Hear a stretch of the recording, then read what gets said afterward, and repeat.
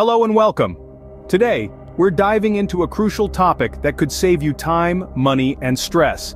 The five biggest mistakes people make when buying life insurance. Whether you're a first-time buyer or reassessing your current policy, this is for you. Mistake number one, not understanding the different types of life insurance.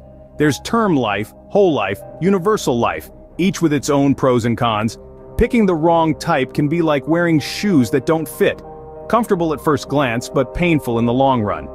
Mistake number two, underestimating how much coverage you need. It's not just about covering funeral costs. Think about your family's future needs, mortgages, education, daily living expenses. It's like preparing for a long trip. You wouldn't pack just a toothbrush, right? Mistake number three, not considering your health and lifestyle. Smoking, hobbies, your medical history, they all influence your premiums. It's like ignoring the weather forecast on a hiking day. Being unprepared can cost you more.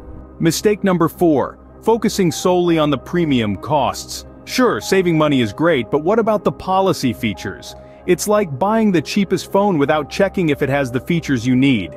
You want value, not just a low price tag. And mistake number five, procrastinating. The longer you wait, the higher the premiums. It's like waiting till the last minute to book flight tickets for the holidays. Act early and you'll find better deals. Now that you're aware of these pitfalls, you're better equipped to make informed choices.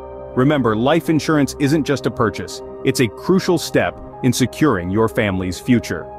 Ready to explore your life insurance options without the common missteps? Reach out to us. We're here to guide you to the right coverage for your unique life story. Take control of your future, starting today.